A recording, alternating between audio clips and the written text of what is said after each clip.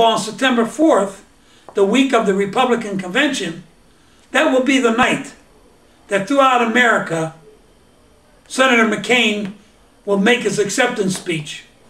We want to be out there on September 4th knocking on doors, really telling America about the true Senator McCain and how he's mistreated working families in this country. So join us. Go out there. Go out there to your local zone coordinator and join us in these walks that we're planning. Let's us lead the nation in having more door knocks in the state of Pennsylvania than any other state in America. Thank you.